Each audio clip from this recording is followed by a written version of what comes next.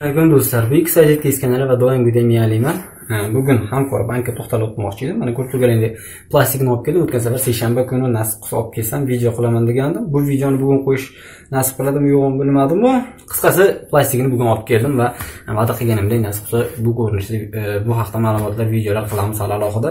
Hamkor bank alohida to'xtalib o'tamiz hali. Lekin ba'zi bir narsalarni aytib o'tmoqchi edim. Mm. Plastigingizni olganingizda bankka borish uch kundan keyin tayyor bo'ladi deydi. Buni avval aytgan edim va e, uch kundan keyin borasiz. E, To'lovni xohlasangiz oldini to'lab qo'yishingiz mumkin. Ushbu plastikka o'ttiz ming to'lov qilishingiz kerak. Pasportingiz bilan borasiz aytib o'tdim. E, olish uchun borganingizda pasport bilan borishingiz kerak. E, ushbu o'ttiz ming so'mni to'laganingizdan keyin undan tashqari e, plastikni o'zini hisob raqamiga mana bu o'ttiz ming so'm shu plastikni to'lov va virtualniy plastik ya'ni bu mm, bu plastik narigi virtualniy plastikni hisobini to'ldirib o'sha plastik orqali internetdan xarid qilishingiz uchun kerak bo'ladi. Istagan e, do'koningizdan xarid qilishingiz mumkin dedi. Istasangiz aliexpress istasangiz boshqa internet magazinlardan deyishdi. Qisqasi manimcha tushunarli bo'ldi. Bu real plastikimiz bu qo'lga ushlasa turgan real plastik deymiz virtual nimaning bilamiz ko'rinmay turgan ushlanmay turgan narsa. Elektron pulga o'xshab. O'sha virtual plastikka tashlash uchun bu plastik kerak ekan. Ikkalasi bir biriga prikredit qilib qo'yiladi. Ho'p endi unga pul tashlash uchun narigiga pul tashlash uchun buni hisob raqamiga pul tashlaysiz. Man o'sha kuni to'lov qilmagandim o'sha kutmaslik uchun kassada odam yo'q edi. Anavrog'i kassa xodim bo'lmaganligi uchun kutmaslik uchun kelib qo'ygandim. Bugun plastikka ham pul to'ladim va plastikni hisobiga ham pul tashlab keldim. Ikkita chek. Va bank xodimini nomerini oldim. Bu chunki virtual plastik yaratish uchun hamkor bankni ilovasini yuklab olasiz ba'zi bir muammolar tug'ilay turgan bo'lsa ehtimol qarshi bank xodimini nomerini olib oling. Man bank xodimini nomerini ham olib oldim. Va har xil ma'lumotnomalari manimcha bular ham kerak bo'ladi har holda справочник kerak bo'ladi служба поддержки ho'p mayli bular haqida hamkor bank haqida hali alohida to'xtalamiz endi internetda pul ishlash haqida mavzular qilaman dedim bu o'zbekistonda hozir imkoniyatlar paydo bo'lyapti asta sekin shuning uchun ushbu videolarni qilyapmiz do'stlar. Ho'p endi internetda pul ishlashga kelayotgan bo'lsak internetdagi e, pul ishlash uchun ba'zi bir tushunchalarni tushunib olishingiz kerak. Asosiysi ikki e, ikkita narsani bilib olamiz bilishimiz kerak. Birinchisi internetda pul ishlashni hayotda pul ishlashni hech qanaqa farqi yo'q va ikki turga bo'linadi. Birinchisi siz xizmat ko'rsatasiz. O'zingiz o'zingizda qandaydir mahsulot bor va ikkinchisi birovni e, xizmat turini reklama qilasiz yoki e, o'sha birovga yordam berish tufayli pul ishlaysiz. Xuddi hayotdagi o'xshab. Hayotdagi bilan solishtirish uchun misol keltiraman kimdir deylik somsa sotadi yoki biron bir restorani bor shunaqasini tirikchilik qilasiz siz borasizda e, man shu narsangni ko'proq sotishingga yordam beraman deysiz yoki sizga u odam taklif qiladi e, shunchasini sotib ber shuncha pul beraman deydi. Biz tushunyapmizki bu yerda ikki xil pul ishlash bo'lyapti. Ya'ni birinchisi o'zi sotyapti va ikkinchisi hamkor yordamida sherik yordamida sherikchilik qilib pul topyapti. Shu narsa partnyorskiy programma deyiladi internetda. Sherikchilik ya'ni e, partnyorskiy programma yordamida ham pul ishlashingiz mumkin. Biz hozir e, birinchi qismga o'tamiz. Birinchi qismda o'sha siz sochi aliexpressdan narsa sotib olib turib e, o'sha o'zimizda sotish haqida e, gap ketyapti hozir. Shu shunaqasini ko'pchilik tirikchilik qilmoqchi. E, internetda ko'rgan videolarimni tushunganim shu bo'ldi. Просто u yerda juda ko'plab ma'lumotlar qoldirilib ketganligi tufayli ushbu videolarda qilyapman. Aliexpressda registratsiyadan o'tish shunga oid video qilgandim man kuni kecha. Shu videoni ham обязательно ko'ring. Chunki u yerda cashback servis haqida aytib o'tdim. Boya aytib o'tgandek partnyorskiy programma ham. Buni foydasi sizga shundaki misol uchun e, man odatda o'zim uchun xarid qilaman oilam uchun. E, o'sha narsa sotib olganingizda sizga ma'lum bir foizda pulingizni qaytarib qaytarib olishingizga yordam beradi.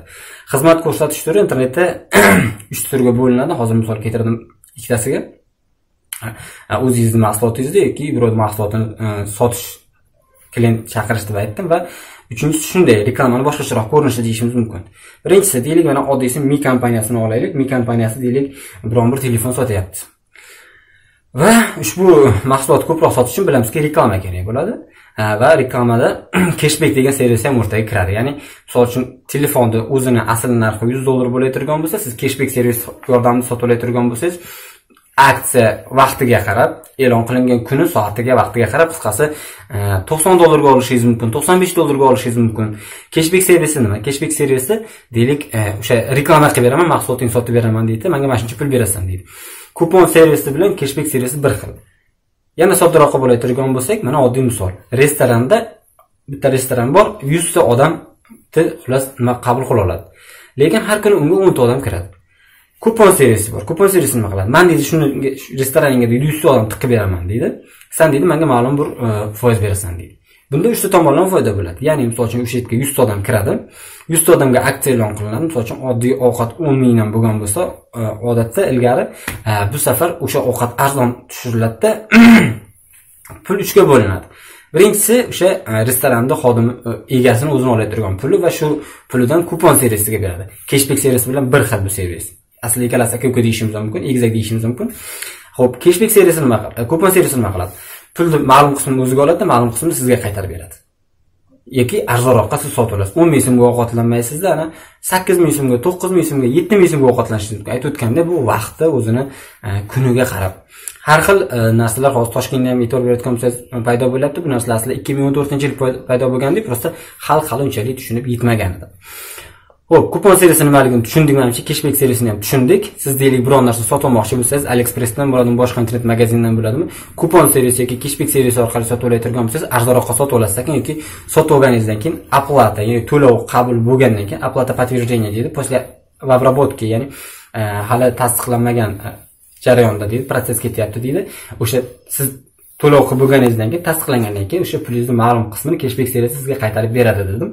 Misol uchun foizga qarab yuz dollarlik xarid qilgan bo'lsangiz o'n dollar pulingizni keshbek servisi orqali qaytarib olishingiz mumkin va holdan chiqqandan keyin ya'ni yuz foiz siz o'sha e, to'laganingiz tasdiqlangandan keyin pulingizni olganingizdan keyin o'sha o'n dollarga yana qo'shimcha bir narsa sotib olib kerak bo'lsa undan ham keshbek olishingiz mumkin qaytarib olishingiz mumkin. Bu kimga foydali? Doimiy aliexpressda siz savdo qilayotgan bo'lsangiz bu sizga kerak. Chunki har safar savdo qilayotganingizda ham misol uchun deylik bir dollardan yig'iladimi besh dollardan yig'ilganda ham misol uchun yig'ib borsangiz ma'lum vaqt kelganda kerak bo'lsa o'sha pulingiz ancha bo'ladi unga ham ancha mahsulot sotib olishingiz mumkin.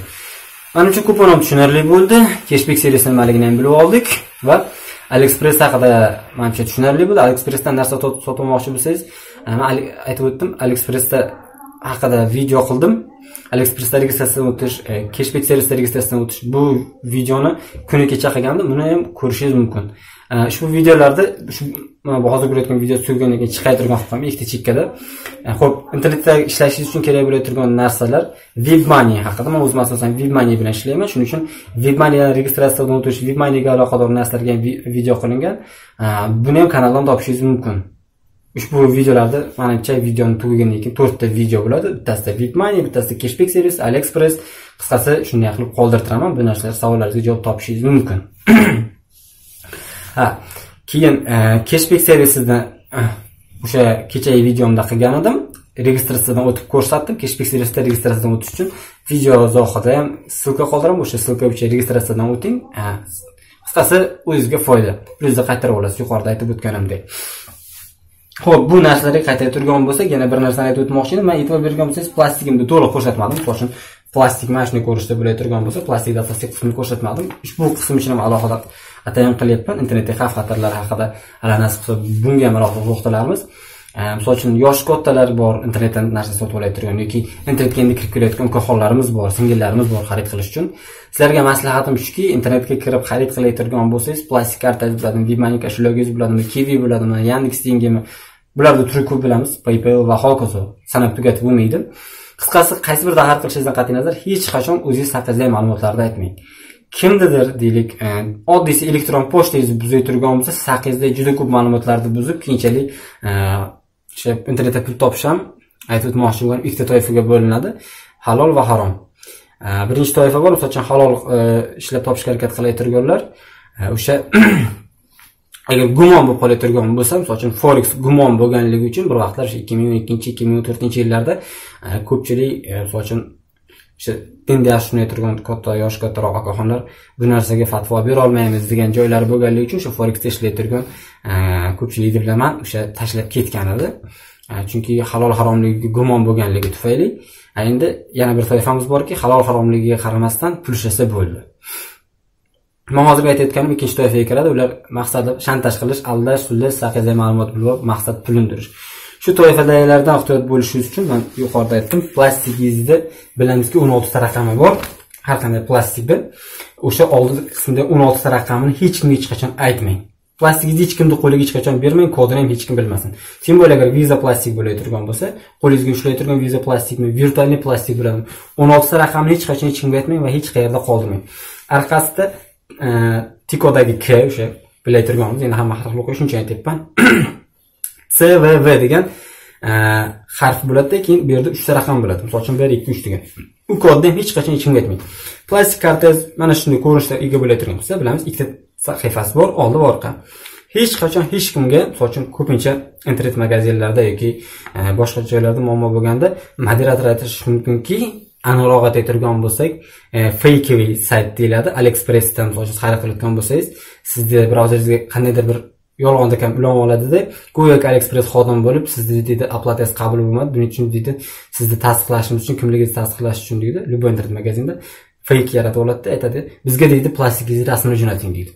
Oldi va orqasini deydi. Siz oldi va orqasini agar rasmini jo'natib turgan bo'lsangiz ado bo'ldingiz. Birinchidan eng yaxshi tomon bo'la turgan bo'lsa hisob raqamingizga bor pulingizni yechib oladi. Bu bilan qutulsangiz agar agar sizni nomingizdan qarz olib tashlamay turgan bo'lsa. Qisqasi demoqchi bo'lganim juda ko'p hunarlar qilib tashlashlari mumkin o'sha internetdagilar ham shuning uchun hech qachon plastikingizdagi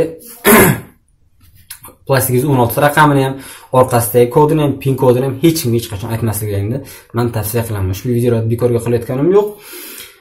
Xo'sh endi aliexpressda savdo qilishingizdan oldin mana shu oldingi kecha kun kecha qilgan videom bor edi ushbu videoni qoldiramadim. O'sha videoni ko'ring. Webmanini ham ko'ring. Videolarni kuzatib boring. Shu aldanib qolmaslik uchun har xil narsalarga e, tushib qolmaslik uchun. Chunki juda ko'p yolg'onlar bor. Oddiysi misol uchun mani o'zim juda ko'p uchraganim bilganligim tufayli xudoga shukur aldanmadim va tanishlarimda ham ko'p uchrashdi. E, siz googledan mana shuncha o'n minginchimi yuz millioninchimi qidiruvchi bo'lganligingiz tufayli sizga iphone telefonni sovg'a qilamiz samsung telefonni sovg'a qilamiz. Bir dollar to'lasangiz bo'ldi degan narsalar brauzeringizda chiqadi. Har xil ferverchalar bilan faqirloqchalar bilan. Xullas nimani nazarda tutyapman. Nomi esimdan chiqdi paqirlarga o'rlayturgan narsa bor edi yangi yilda otilardi E, qisqasi e, shunga o'xshash narsalar chiqadida chiroyli sahifa go'yo siz million yutib olganday sizni tabriklaydi. Bor yo'g'i deydi eng kam o'ldim deganda bir dollar o'tkazing deydi bo'lmasa yuz dollar o'tkazing deydi. Kattaroq narsalar va'da qiladi. E, qisqasi bunaqangi narsalarga ishonmanglar demoqchiman. Ogoh bo'linglar har narsaga ishonavermanglar бесплатный сыр мышаловка deydi esinglardan chiqmasin bu man doim aytaman ya'ni o'sha tekin pishloq sichqonni qopqonida bo'ladi deydi. Shunaqa narsalarga ilinib qolmanglar. Albatta aliexpressda savdo qilishdan oldin yana qaytib o'taman qaytarib o'taman keshbek servisida o'ting registratsiyadan o'ting keshbek servisida registratsiyadan o'tmay turgan bo'lsangiz plyusda havoga otgan hisoblanasiz. O'sha plyusda qaytarib olib yig'ib yig'ib borib turib bunga vaqti kelganda ma'lum narsa sotib olishingiz mumkin aytib o'tganimdek.